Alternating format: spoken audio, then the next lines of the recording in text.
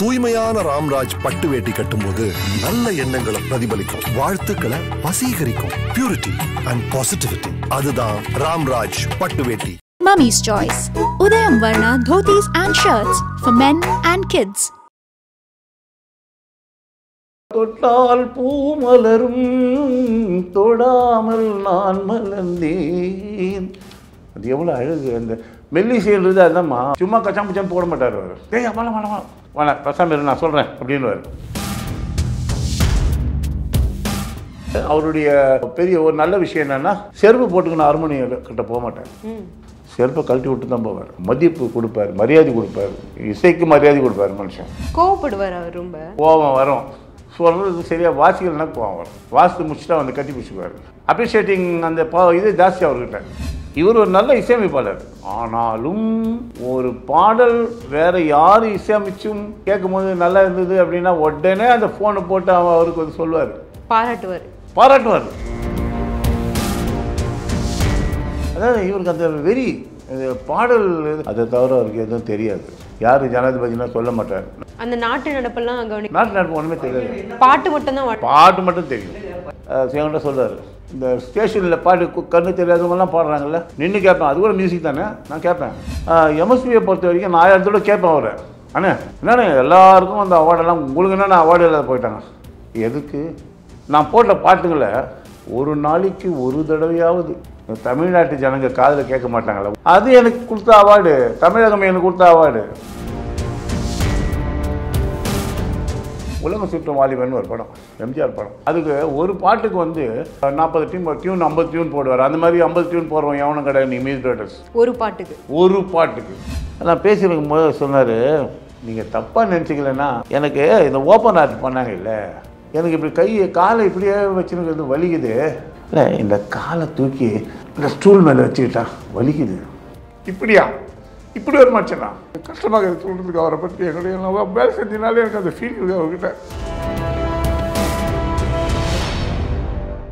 Glitz நேயர்களுக்கு வணக்கம். இன்னைக்கு நம்ம நிகழ்ச்சியில தமிழ் திரையுலகத்துல அறுபது ஆண்டுகளுக்கும் மேலாக இசை சாம்ராஜ்யத்தை உருவாக்கின இசை ஜாம்பவானான எம் எஸ் விஸ்வநாதன் அவர்களுடைய குரூப்ல இருந்த இசை கலைஞரான சங்கர் நம்ம கூட இருக்காங்க. அவங்க வாழ்க்கையோட பல பக்கங்களை இன்னைக்கு அவங்க கூட சேர்ந்து நம்ம திரும்பி பார்க்க போறோம். வணக்கம். வணக்கம். எப்படி இருக்கீங்க? கடவுளுடைய அருளில் உங்களுடைய தயவுலையும் நல்லா தான் இருக்கேன் நான் இப்போ வந்து ஒரு இன்ட்ரடக்ஷன் கொடுத்த மாதிரி இசை ஜாம்பவான் எம் எஸ் விஸ்வநாதன் அவர்கள். அவர் வந்து நீங்கள் சொன்னது போல் அறுபது ஆண்டுகளுக்கும் மேலாக தமிழ் திரையுலகத்தில் வந்து அவர்தான். எல்லாமே இசைன்னா அவர்தான் நீங்க வந்து அவர் கூட பல ஆண்டுகள் வந்து பயணம் செஞ்சிருக்கீங்க. அவரை பத்தி உங்ககிட்ட கேட்டாதான் எல்லாமே தெரியும் அப்படின்னு நினைக்கிறேன். உங்களுடைய முதல் சந்திப்பு அவர் கூட எப்படி நிகழ்ந்தது? முதல் சந்திப்பு ஆக்சுவலாக பார்த்தாக்கா டேடி தான் ஒர்க் பண்ணிட்டு இருந்தார் அண்ணங்கிட்ட விஸ்வநாத அண்ணங்கிட்ட டேடி தான் ஒர்க் பண்ணிட்டு இருந்தார் உங்களுடைய அப்பா? என்னுடைய அப்பா ஒர்க் பண்ணிட்டு இருந்தார் அவர். அவரும் அந்த ட்ரம்போன் பிளேயர் தான் அவர். ரொம்ப படங்களுக்கு அவரும் வாசிச்சிருக்கிறாரு நம்ம முதல் முதல்ல போய் அவர்கிட்ட உட்காந்து வாசி அப்பா சொல்கிற மாதிரி அப்பா சொல்றாரு டேய் அண்ணன் இந்த ப்ரோக்ராமுக்கு இது போ அப்படின்னுவார். நான் பயமாக்குதுப்பா அவர் பெரிய லெஜெண்ட் அவர்கிட்ட நான் என்ன என்னப்பா? போ. அவர்கிட்ட போய் போனால் தான் உனக்கு வேலை எல்லாம் நடக்கும் அப்படி. போய் உட்காருவேன் போய் முதல் முதல்ல போய் உட்காந்து உட்காந்து வந்து பார்த்தாரு அப்படின்னு கிட்ட வந்து பார்த்தாரு. என்ன இன்னைக்கு அப்பா வரலையா? அப்படின்னாரு. இல்லைண்ணே அவர் அப்போல்லாம் எப்படி நான் யூனியனில் ஒரு one week two weeks before வந்து கையெழுத்து போடணும் யூனியனில் எது கையெழுத்து போடணும்னா அந்த மியூசிக் டைரக்டர் நான் கட்டாயம் வாசிப்பேன் அப்படின்னு கையெழுத்து போடணும். அப்படி நீங்கள் கையெழுத்து போட்டு அக்ரிமெண்ட் மாதிரி. ஆமாம் நீ போட்டுட்டு போகலன்னா அது யூனியன் மூலமாக ஆக்ஷன் எடுப்பாங்க. அப்போ அந்த காலம் அப்படி இருந்தது இப்போ அதெல்லாம் கிடையாது. ஸோ கையெழுத்து போட்ட அப்போ அதான் சொன்னேன். அவன் கையெழுத்து போட்டால அந்த மீதில் வாய்ஸ் தான் ஆகணும் அப்படின்னு அப்படியா ரைட் ரைட் நீ வந்துக்கிற. சரி. நான் வந்து ரொம்ப மியூசிக் கொடுக்க மாட்டேன். உங்களுக்கு. அப்படி சொல்லுவார். முன்னுக்குனுக்கெல்லாம் பேசுவார். உங்களுக்கு கொடுக்க மாட்டேன். நாலே நோட்டு கொடுப்பேன். அந்த நாலு நோட்டும் பக்கத்து பக்கத்தில் இருக்கும் வாசிக்கிறதுக்கு. தாம் தாம் தாம் தாம் பாம். அது அது வரைக்கும் நீங்கள் வாசித்தா போதும். நீங்கள் ரொம்ப குழப்பிக்க வேண்டாம். சொன்னோடனே அது சொல்லுவார். அது வேல்யூவேஷன் சொல்லுவார். வேல்யூவேஷன் கையில் கையை எண்ணி சொல்லுவார். ரெண்டாவது வந்து என்னென்னா அவருக்கு வந்து போன புதுசில் உட்காந்துக்கிட்டு நோட்ஸ் எல்லாம் எழுதினு இப்போ உட்காந்து அப்போ சொல்லார் என்ன பண்ணுறீங்க நீங்கள் அப்படின்னாரு. ஆனால் நீங்கள் சொன்னதெல்லாம் எழுதிக்கிறேங்க. இந்த டிராயிங் போடுற வேலையே வேணாம். அது டிராயிங்கா டிராயிங் போடுற வேலையே வேணாம். அவருக்கு வந்து அம்- அமுத சுரப்பி கேள்விப்பட்டுக்கிறீங்களா அமுத சுரப்பின்னு ஒன்று அது வந்து சாப்பாடு அன்னம் எடுக்க எடுக்க வரோம் அப்படின்னு சொல்லுவாங்க அப்போது மியூசிக் எடுக்க எடுக்க வரமா அவர்கிட்ட? சங்கிலி மாதிரி வரணும். அது நான் எந்த மியூசிக் டைரக்டரையும் பார்க்கல. அவர் வந்துட்டு படம் இப்போ சாங் ரெக்கார்டிங் பண்ணுறாங்கன்னா ஏழு மணிக்கெல்லாம் வரணும். ஏழு மணி கால் ஷீட் வரணும். Song recording seven o'clock இருப்போம். அவர் எங்களுக்கு முன்னாலே வந்துடுவார் அது அவர்கிட்ட பெரிய விஷயம். அவர் மாதிரி யாரும் உழைக்க மாட்டாங்கம்மா. கெட்டிக்காரில் உழைப்பிட்டேன் இது கஷ்டமாக இருக்குது சொல்கிறதுக்கு அவரை பற்றி எங்களுடைய வேலை செஞ்சினாலே எனக்கு அந்த ஃபீல் இருக்குது அவர்கிட்ட. அது எப்படின்னாக்கா வந்து உக்காந்துட்டு என்னப்பா எல்லாம் வந்துட்டாங்களா? ஆர்கெஸ்ட்ரெல்லாம் ஃபுல்லாக வந்துச்சா? முதல்ல எல்லாம் வந்துச்சுண்ணே. சரி சரி வர சொல்லு. வாங்க வாங்க வாங்க. கொஞ்சம் நோட்ஸ் எழுதிக்கலாம் வாங்க. அவர் அசிஸ்டன்ட் வச்சுருப்பார். அவர் இது கம்போசிங் பண்ணுற டைமில் அவங்க அசிஸ்டன்ட் கூட இருந்து நோட்ஸ் எழுதுவாங்க. அப்போ ஒரு ஆர்கெஸ்ட்ரா அப்படின்னு போட்டிங்கன்னாக்கா எப்படி ஒரு ஒரு நாற்பது பேர் இருப்போம். வயலன்ஸ் ஒரு பத்து இருபது பேர் இருப்போம். மற்ற மற்ற இன்ஸ்ட்ருமெண்ட்ஸுங்க கிட்டார் அது இது எல்லாம் இருப்போம். எங்கள் செக்ஷனை கூப்பிட்டா தான் நாங்கள் போவோம். இல்லைன்னு நாங்கள் போக மாட்டோம். படம் கொஞ்சம் ஹெவியாகுது அப்படின்றபோது எங்கள் செக்ஷனுக்கு கூப்பிடுவாங்க வாப்பா ரெண்டு ட்ரம்மோனு மூணு ட்ரம்பட் நாலு ட்ரம்பட் வாங்க அவங்கெல்லாம் வருவாங்க வாசிக்கிறதுக்கு வருவாங்க எல்லாம் வருவாங்க. வந்தவொடனே நோட்ஸு அவர் கொடுத்து சொல்லுவார். அவர் சொல்கிறது வந்து ரொம்ப இதுவாக இருக்கும். அது இது பாருங்கள் ஃபஸ்ட்டு இப்படி இப்படி போதில்லை. இது பாருங்கள் இது இது இப்படி வச்சுக்குங்க. வா இது வாசி மாதிரி வச்சுங்க அதாவது அவர் ஹார்மோனியத்தில் வாசி காட்டுவார். பட் அதை அப்படியே வச்சுங்க நீங்கள் வயலின் நீங்கள் அப்படியே வச்சுங்க சரி சரி சரி. அது அது கொஞ்சம் அப்படியே லூப் மாதிரி போகணும் அது. நீங்கள் என்ன பண்ணி தந்ததாம் பம் தாம் நீங்கள் ஓகேவா அது நோட்ஸ் இது பண்ணீங்க அப்படி ஹார்மோனியத்தில் வாசி அந்த சீனுக்கு ஸோ அந்த மாதிரி வந்து ஒரு கம்போசிங் அப்படி பண்ணுவார். பண்ணி முடிச்சுட்டு படம் போடு பாடுவார். இப்போல்லாம் கம்ப்யூட்டர் அப்போ படம் போடு ஸ்க்ரீனில் படம் போடுவார். படம் போட்டாக்கா அந்த மியூசிக் ஸ்டார்ட் பண்ணுவார். ரெடி ஸ்டார்ட் பண்ணி ஒரு அந்த படம் முடியறதுக்கும் அந்த மியூசிக்கு கம்ப்ளீட் ஆகிறதுக்கும் கரெக்டாக இருக்கும். அதுதான் அனுபவம். அதுதான் அனுபவம். இதை வந்து ரெண்டு தடவை வாசிக்கோ அது மூணு தடவை வாசிக்கோ இந்த கணக்கெல்லாம் இல்லை ஒரே தடவை தான். ஒரே தடவை. அது அதுதான் அதெல்லாம் பெரிய விஷயம். அதெல்லாம் அது பெரிய விஷயம். அவங்கெல்லாம் வந்து பான் மியூசிஷியன்ஸ் அவர் போடுற பாட்டுங்கள்லாம் பார்த்தா ஒரு ஒரு படத்துக்கு ஒரு படம் வித்தியாசமாக இருக்கும். அது இம்ப்ரூவ் ஆகி போயினேன்ட்டார் அவர். அந்த மாதிரி ஒரு மியூசிக் ரைட்டராக இருந்தானா இப்படி தான் பண்ணுவார் அப்படி தான் பண்ணுவார். இல்லை. அவர்கிட்ட போகும்போது எக்ஸாம் போகிறோம் நாங்கள் என்ன கொஸ்டின் வரும்னு தெரியாது. என்ன கொஸ்டின் வரும்? அவர் அதாவது அவருக்கு அந்த வேல்யூவேஷன் வந்து மியூசிக்கில் வேல்யூவேஷன் வந்து அவர்கிட்ட தான் கற்றுக்கணும் இவர் இப்போ ஒரு ஒரு ஒரு பாட்டு ஒன்று இருக்குது அப்படின்ற போது அந்த வேல்யூவேஷன் இது எப்படி இவர் பண்ணியிருப்பாருன்றதுன்னா ஒரு நேற்று கூட ஒரு பாட்டு ஒன்று கேட்டேன். தேடி வரும் தெய்வ சுகம் கேட்டிருப்பீங்க. மன்னவனின் சன்னதியில். கேட்டுப்பீங்களா அது இந்த ஸ்டைலில். தந்தரம் தான் தான் இதெல்லாம் வந்து வெஸ்டர்ன் டைப். அதில் பெரிய விஷயம் என்னன்னாக்கா அவர் வந்து அப்போ இசையமைச்சிட்டார் இப்போ போகிறதெல்லாம் அதுதான் அவர் நான் லெஜெண்டுன்றேன். அதுக்கு தகுந்த மாதிரி அவர் கம்பேனியன் சேர்ந்து வருவது கண்ணதாசன். இவங்க ரெண்டு பேரும் சேர்ந்து சாதிச்சிட்டாங்க. பயங்கர சாதனை பண்ணாங்க. ரெண்டாவது ஒரு பெரிய விஷயம் என்னென்னா உங்களுக்கு வந்து இப்போ போடுற பாடல்கள்லாம் கிட்டத்தட்ட அவருடைய சாயில் தான் இருக்கும். அவர் வந்து இந்த நினைத்தாலே இனிக்கல்னு ஒரு படம். அதில் இந்த குகனை மந்திரம் ஏதோ ஒரு சாங் ஒன்று வரும். அந்த சாங் இவர் தான் பாடுவார். இவர் தான் பாடுவார். அதாவது அவருக்கு வந்து இந்த பாட்டு மேலே ரொம்ப இன்ட்ரெஸ்ட்டு அப்போவே. ஸோ என்கிட்ட சொல்லுவார்.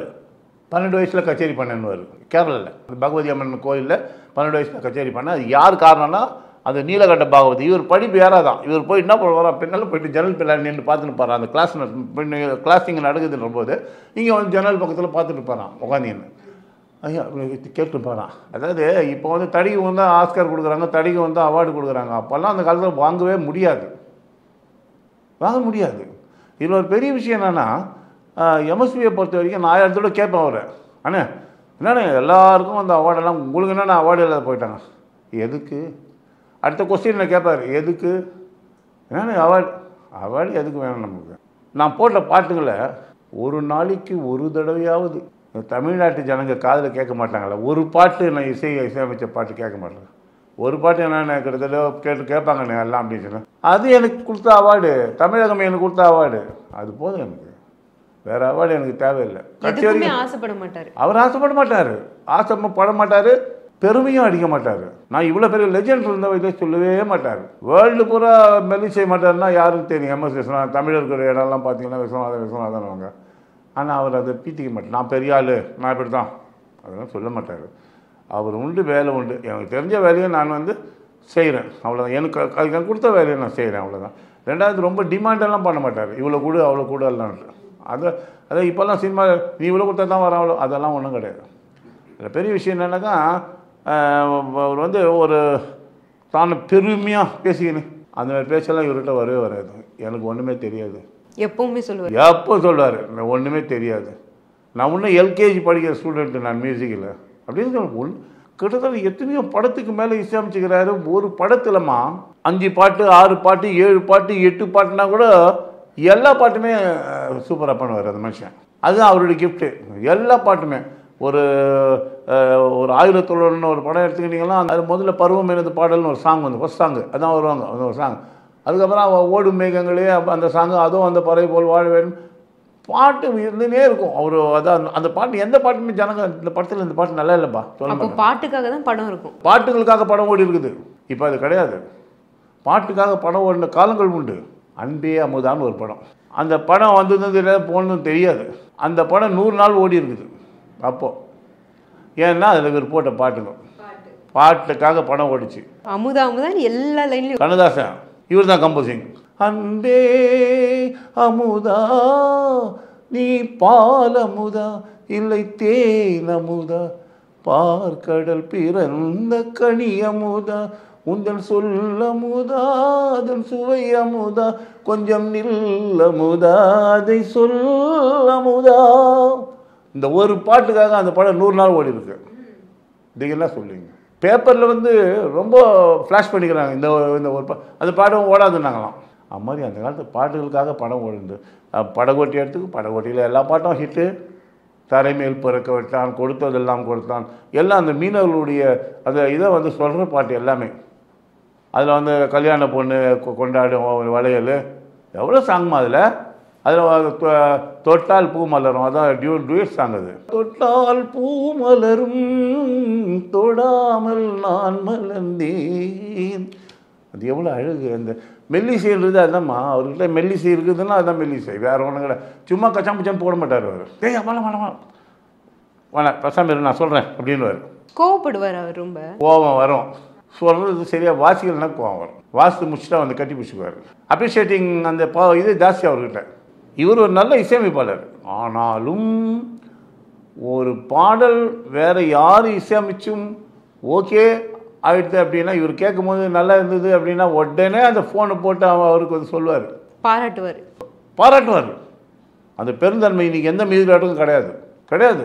என் என் மேலே அவ்வளோ இஷ்டம் இருக்குது எல்லாம் என்ன பண்ணுவாங்க ஃபஸ்ட்டு நோட்ஸ் எல்லாம் எழுதணுன்னு கொஞ்சம் போய் தம் அடிக்கணும் அதுக்கு போயிடுவாங்க மிஷின்ஸுக்கு இவர்கிட்ட அதெல்லாம் போகவே முடியாது. வாங்கோ சார் வாங்கோ அப்படின்னு வாங்கோ சார் வாங்கினா உட்காந்துட வேண்டியது தான். எல்லாம் வாத்தியெல்லாம் எடுத்துன்னு போய் உட்காரும் வாசிங்க ஸ்டார்ட் பண்ணலாம் வாங்க அப்படின்னு அதாவது அவர் வந்து அந்த டைமெல்லாம் வேஸ்ட் பண்ண மாட்டார். டைம் வேஸ்ட்டே பண்ண மாட்டார். அடுத்த படத்துக்கு நான் பண்ணேன் இல்லை இப்போ வேஸ்ட் பண்ணிட்டா அடுத்த படத்துக்கு என்ன பண்ணுறது அது அடி அடி அடின்னு போயிட்டே இருப்பார் ஒரு மனுஷன். ஒரு நாளைக்கு அதாவது பெரிய விஷயம் என்னென்னா உலகம் சுற்றும் வாலிபன் ஒரு படம் எம்ஜிஆர் படம். அதில் பாட்டுங்கள்லாம் நீங்கள் கேட்டிங்கன்னா அவ்வளோ அழகாக இருக்கும் பாட்டுகள். எல்லா பாட்டுமே சுஷீலா சவுந்தரராஜன் ஜெயசுதாஸ் பாலு அது நல்ல வெல் நோன் சிங்கர்ஸ் எல்லாம் வச்சு பாட வச்சார். அந்த அந்த படத்தில் எல்லா பாட்டும் சூப்பர் ஹிட்டு அதுக்கு ஒரு பாட்டுக்கு வந்து கிட்டத்தட்ட வந்து ஒரு நாற்பது டியூன் டியூன் ஐம்பது டியூன் போடுவார். அந்த மாதிரி ஐம்பது டியூன் போடுறோம் எவனும் கிடையாது. நீ மியூசிக் டேரக்டர்ஸ் ஒரு பாட்டுக்கு. ஒரு பாட்டுக்கு. ஒரு பாட்டுக்கு. ஏவிஎம் சரவணன் வந்து ஒரு இன்டர்வியூவில் சொல்லியிருக்கிறாரு. இப்போ இருக்கிற இசையமைப்பாளர்கள்லாம் வந்து அவங்க இசை அவ- அவர்கிட்ட அதாவது அவங்க இசையமைப்பாளர்கள் மெட்டமைப்பாளர்கள் அவ்வளோதான் இசை கிடையாது. இப்போ அவர் வந்து அந்த காலத்தில் சரவணன் ஒரு இசையமைப்பாளர் இன்னைக்கு இருக்கிறவங்ககிட்ட போய் ஏம்மா அந்த டியூன் ஒரு மாதிரி இது வேற டியூன் போட்டால் என்னப்பா? கேட்டாக்கா சார் இது சூப்பர் ஹிட்டாக ஆகும் சார் இந்த டியூனு நீங்கள் என்ன சார் இது இல்லைன்றீங்க. டியூன் சூப்பர் ஹிட்டாக பாடி காட்டுவானா சரவணன் சொல்லுவார் அவர்கிட்ட அப்படி இல்லை. ஒரு பாட்டுக்கு எத்தனை வேணா வாரிக்கோ. இந்த அள்ளின்னு போ அள்ளின்னு போ. பெரிய சரக்கு வச்சு கொடுத்துட்டே இருப்பார். போட்டே இருப்பார். உலக சுற்றுவாலிமனில் ஒரு சாங்கு அந்த சாங் வந்து அவர் பண்ணினாங்க எம்ஜிஆர் வந்து அப்ரூவ் பண்ணவே இல்லையா நல்லா இல்லை விசு. நல்லா இல்லை விசு. நல்லா இல்லை விசு. சரின்னு போட்டாராம். ஏதோ போட்டு போட்டுக்கிற போட்டோன்னே உடனே இருக்குது பரவாயில்ல ஓகே அப்படின்னு போயிட்டாராம். இது போயிட்ட பிறகு அவர் வந்து ஒரு திரும்பவும் வந்து இந்த பாட்டு ரெக்கார்ட் பண்ணாங்களாம். ரெக்கார்டு பண்ண பிறகு பக்கத்தில் உட்காருவார் எம்ஜிஆர் இருந்து உட்காந்துப்பார் இப்படி உட்காந்து இவர் சும்மா அது என்ன பண்ணிக்கிறாரு? பாட்டு எப்படி இருக்கு அப்படி சுமாராக இருக்குது போயா அப்படின்னாராம். யார்? எம்ஜிஆர். சுமாராக இருக்குது போயா. எல்லா பாட்டும் ஹிட் அதில் நிலவு ஒரு பெண்ணாகி இந்த பாட்டில். பச்சை கிளி முத்துச்சரம் பன்சாயி பன்சாயின்னு ஒரு பாட்டு அதாவது தங்க தோணிகளின் ஜேசஸ் பா எல்லா பாட்டையும் நீ இப்போ கேட்டிங்கன்னா கேட்டுனே தேன் மாதிரி இருக்கும் பாட்டுங்க இல்லை சும்மா டம்மு டக்கான் டம்மு டக்கான் இடத்துல இப்போ மியூசிக் ரைட்டர்ஸ் அந்த மாதிரிலாம் கிடையாது. அதாவது நம்ம வந்து நான் என்ன சொல்கிறேன்னா அவார்டு கொடுக்குறதுன்றது ஒரு சாதாரண விஷயம் இல்லை. அப்போல்லாம் ரொம்ப இதுவாக இருக்கும். யாருக்கும் அவார்டெல்லாம் இந்த மாதிரிலாம் கிடையாது அப்போல்லாம். ஆனால் இப்போ இருக்கிற இசையமைப்பாளர்களை விட அப்போ இருக்கிற இசையமைப்பாளர்கள் வந்து வெல்லோன் ஜி. ராம்நாத் ஐயர். அவர் போடாத பாட்டு கிடையாது. அவர் சங்கீதம் எல்லாமே இது ராகங்கள் வச்சு தான் பாட்டுகளே பண்ணுவார் அவர் ஜி ராம்நாத் ஐயர் பாட்டுங்க எல்லாமே நல்லாயிருக்கும் அது அவர். அதே மாதிரி வந்து தேவராஜ மாஸ்டர். நல்ல பெரிய மியூசிக் அதே மாதிரி வந்து பா இந்த அம்மா இருக்கிறாங்களே அவங்க வேறு? அஞ்சலி தேவி அம்மா. அஞ்சலி தேவங்க அவங்க ஹஸ்பண்ட் ராஜி நாயனாரோ அவங்க எல்லாமே வந்து வெரி குட் நீங்கள் வந்து இந்த அழைக்காதே அணைக்காதே இந்த பாட்டெல்லாம் கேட்டால் ஒன்றுமே நல்லாயிருக்கும் இந்தோல ராகத்தில் பண்ணியிருப்பாங்க அந்த பாட்டை. அது கேட்கலாம் நல்லாயிருக்கும் இப்போலாம் வந்துட்டு டைம் பீயிங் ஃபாஸ்ட் ஃபுட் வருதா போதா? பேசிங் க்ளோஸ் டேங் போச்சு அவ்வளோதான் அடுத்து அந்த பாட்டு வாயா? அது ரெண்டாவது அவருடைய அந்த பெரிய ஒரு நல்ல விஷயம் என்னென்னா செருப்பு போட்டுக்கின அருமணி கிட்ட போக மாட்டார். செருப்பை கழட்டி விட்டு தான் போவார். மதிப்பு கொடுப்பார் மரியாதை கொடுப்பார். இசைக்கு மரியாதை கொடுப்பார் மனுஷன். செருப்பு போட்டு தான் போய் கை நீங்கள் எப்போ பார்த்தாலும் இது பார்த்தீங்கன்னா நமக்கு செருப்பு இருக்காது அவர் கம்போஸ் பண்ணும்போது. ஒன்று ரெண்டாவது வந்து இந்த ப்ரோக்ராம்ஸ் முடிஞ்ச பிறகு ரெக்கார்டிங் முடிஞ்ச பிறகு ஒரு பூசணிக்காய் ரெடியாக இருக்கும். அதில் வந்து கற்பூரம் வச்சு ஆர்கெஸ்ட்ரா வாசவங்க எல்லாம் வாங்க வாங்க வாங்க வாங்க சார் வாங்க நில்லுங்கெல்லாம் என் கூட நின்று கீழே நிற்போம் தான் நின்று பக்கத்தில் நடுவில் நின்று சுற்றி அது அது சுற்றுவாங்க இன்றைக்கி ஒரு மியூசிக் கூட அது பண்ணுறது கிடையாது. நான் கண் கூட பார்க்குறேன் எவனும் பண்ணுறது கிடையாது. இப்போ ரெண்டாவது இப்போ என்னென்ன பணம் வந்தால் போதும்? தன்னுடைய சரக்குக்கு இது கிடையாது. அதாவது ஒரு ஒரு ஒரு பாடல் நம்ம பண்ணுறோன்ற போது ஜனங்க இவர் சொல்லுவார் ஜனங்களுடைய நாடியை பிடிச்சி பார்க்கணும். அவங்க ஏற்றுக்குவாங்களா இந்த பாட்டை? ஏற்றுக்க மாட்டாங்களா? அப்படின்ட்டு. அப்படியே ரெண்டு மூணு படங்கள் ஃபெயிலியர் ஆச்சு அவருக்கு. ஆனா இப்போ இருக்க மியூசிக் டைரக்டர்ஸ் நிறைய பேர் வந்து ஒரு படத்துல பண்ணா அந்த சாங்கோட ஒரு கொஞ்சம் சாயலாவது அடுத்த படத்துல இருக்குன்ற மாதிரிலாம் சொல்றாங்க. வேறு வழி இல்லைங்க. அவங்க அப்படி தான் பண்ண அவங்களுக்கு தெரிஞ்சது அதுதான். இவரும் அந்த ஏழு ஸ்வரங்களில் தான் பண்ணார். வித்தியாசமாக பண்ணார். அதுதான் இவருக்கு இருக்க விஷயம் அவங்களுக்கு இருக்க விஷயம். வேறு ஒன்றுமே இல்லை. இந்த இந்த ப- பழைய பாட்டுகளை வச்சு தான் இப்போ படமே பண்ணுறாங்க அது ஓகே அந்த ஏழு ஸ்வரத்தில் தான் அவங்க மியூசிக் பண்ணி ஆகணும். நாங்கள் போவோம். ரெண்டு பேரும் அவரோட போய் பேசுவோம். உங்களை பேசுறதுக்காக கூப்பிடுவாரா? என் பேர் தெரியாது அவருக்கு. கடைசி வரைக்கும் என் பேர் தெரியாது. அவன் வந்து அந்த இன்சார்ஜ் கிட்ட போய் அவன் ஒரு இன்சார்ஜ் ஒருத்தர் இருந்த- இருந்தார். அவர்கிட்ட போயிட்டு என்னை வந்து ஒரு அந்த ப்ரோக்ராம் இப்போ வா உலகம் சுற்றும் வந்தது இல்லைங்களா? வாலிபன் சுற்றும் உலகம்னு ஒருத்தர் ப்ரொடியூசர் படம் பண்ணார். அந்த மாதிரி ஒரு படம் படம் வந்தது. அதில் சாங் நான் போய் வாசித்தேன் அப்போ தான் ஓப்பன் ஆர்ட் பண்ணி மூணு மாதம் தான் ஆகுது. கத்தக்கூடாது பேசக்கூடாதுன்னு டாக்டர் சொல்லியிருக்கிறார். ஆனால் இவர் விடமாட்டார். ஆப்ரேஷன் பண்ணவொடனே ஏழு சொல்லுத பாட முடியுமா எனக்குன்னு கேட்டாராம். அதாவது இவருக்கு அந்த வெறி இது பாடல் அதை தவிர அவருக்கு எதுவும் தெரியாது. யார் ஜனாதிபதினா சொல்ல மாட்டார். நமக்கு தெரியும் முர்மு திரௌபதி முர்மு அவருக்கு தெரியாது. தெரியாது அவருக்கு. ஒன்றுமே தெரியாது. அந்த நாட்டு நடப்பெல்லாம் கவனி நாட்டு நடப்பு ஒன்றுமே தெரியாது. பாட்டு மட்டும் தான் பாட்டு மட்டும் தெரியும். என்ன அங்கே இருக்கிறோம்? நம்ம என்ன பண்ணுறோம் தெரியாது. மியூசிக் தான். அதை பண்ணி அது உலகமே அதுதான். உலகமே அதுதான் அவருக்கு. வேறு எதுவுமே கிடையாது தெரியாது. உலகமே. அவ அதான் சொன்னேன். அவர் அவராக அதாவது என்கிட்ட சொல்றாரு. இந்த ஸ்டேஷனில் பாட்டு கண்ணு தெரியாதவங்கலாம் பாடுறாங்கல்ல அது கூட நின்று நான் கேட்பேன். அதுவும் இசைதான். நின்று கேட்பேன். அது கூட மியூசிக் தானே? நான் கேட்பேன். நான் ஓப்பனர் பண்ணார். ராமச்சந்திராவில் பண்ணார். யாரும் வரக்கூடாதுன்ட்டாரு ஆ, பாக்குறதுக்காக. ஆகிறதுக்கு யாரும் வரக்கூடாதுன்ட்டார் பைக் எடுத்துன்னு அவர்கிட்ட போவேன். அவர் எங்கேருந்தா திருவான்மூர்லன்னா அவங்க பொண்ணு வீட்டில் போயிட்டு ஆ வாங்க வாங்கினாரு திடீர்னு நான் என்ன பண்ணேன்? அண்ணே ஓப்பனர் பண்ணிக்கினீங்களே. வலி இருக்கா? முதல் கேள்வி நான் கேட்டேன். இப்போ நீங்கள் என்னை இன்டர்வியூ பண்ணுற மாதிரி அவரை கேட்டேன். ஆமாம் வலி இருக்குது. என்ன பண்ணுறது ராத்திரிலாம் வலிக்குது. நான் அழுவலான்னு இருந்து யோசனைக்கிறேன். அது எவ்வளோ பெரிய அந்த ஃபீலை சொல்கிறார் நான் அழு அழு அழுதுன்னா கூட என்னை வந்து எல்லாம் ஆறுதல் பண்ணுவாங்க. அழு அழுவுறேன்னு சொல்லிட்டு. அவ்வளோத்தையும் பொறுத்துக்கணும் என்னால் ஒன்றும் முடியல. என்ன செய்யுதுன்னு தெரில அப்படின்னு சொல்லி ரொம்ப கஷ்டமாக சொல்லியிருந்தார் நான் அண்ணே கொஞ்ச நாள் தானே வலியெல்லாம் இருக்கும். அப்புறம் போயிடனே எல்லாம் போயிடனே எல்லாம் பண்ணுறாங்கல்லண்ணே கொஞ்சம் பொறுத்துங்கண்ணே ஒன்றும் பிரச்சனை இல்லை அப்படின்னு சொல்லிட்டு நான் பேசியிருக்கும் போது சொன்னார் நீங்கள் தப்பாக நினச்சிக்கலன்னா சொல்லுங்கண்ணா என்னென்ன விஷயம்? நீங்கள் தப்பாக நினச்சிக்கலன்னா இல்லை நான் நினைக்க மாட்டேன் நீங்கள் சொல்லுங்க அப்படின்னு. அது இப்படி தான் பேசிக்குவோம் ரெண்டு பேரும் நாங்கள் நினைக்கலன்னா எனக்கு இந்த ஓப்பன் ஆர்ட் பண்ணாங்க இல்லை. அந்த ஓப்பன் ஆர்ட் பண்ணதில் இந்த காலில் ரைட்லேருந்து இருந்து இது எடுத்தாங்க. ஒரு நரம்பு எடுத்து பைபாஸ் பண்ணாங்க. பைபாஸ் அதை வச்சு தான் பண்ணாங்க. அந்த நரம்பு அவங்க எடுத்த இடத்துல புண்ணு இன்னும் ஆறலை. அப்படியே தான் இருக்குது அதே ஆயின்மெண்ட் போட்டுங்கன்னா அப்படியே வரேன் நான். எனக்கு இப்படி கையை காலை இப்படியே வச்சுருக்கிறது வலிக்குது. நீங்கள் முதல்ல சொன்னேன் தப்பாக நினச்சிக்கூடாதுன்னு சொல்லிட்டு. சொல்லுங்கண்ணே என்ன விஷயம் சொல்லுங்கண்ணே? இல்லை இந்த காலை தூக்கி இந்த இந்த ஸ்டூல் மேலே வச்சுக்கிட்டா வலிக்குது. என்ன மனுஷன்ல? மனிதன். அவ்வளோ பெரிய ஜாம்பவான். கால் எடுத்து ஸ்டூல்ல வச்சுக்கணுமான்னு பர்மிஷன் கேட்குறேன் அதாவது அவர் எதிர்க்க நான் வந்து தூசியிலே தூசி ஒன்றும் இல்லாத தூசி நான். அந்த கேள்வி என்னை கேட்கும்போது நம் இப்போ கூட நக்மா நிஜமா நான் வந்து நினச்சேன்னா அழுவேன். இப்படியா? இப்படி ஒரு மனுஷனா? நம்ப முடியல. அதாவது அவர் இறந்த பிறகு நாலு மணிக்கு வந்தது எனக்கு செய்தி. அன்னைக்கு அப்போ வந்து அழுவ ஆரம்பிச்சு நிற்க வைக்கவே இல்லை. அழுதுகிட்டே தான் இருந்தேன். இப்படி ஒரு மனுஷன் போயிட்டாரே. தூய்மையான ராம்ராஜ் பட்டு வேட்டி கட்டும்போது நல்ல எண்ணங்களை பிரதிபலிக்கும் வாழ்த்துக்களை வசீகரிக்கும் பியூரிட்டி அண்ட் பாசிட்டிவிட்டி அதுதான் ராம்ராஜ் பட்டு வேட்டி Mummy's Choice. Udayam Varna dhotis and shirts for men and kids.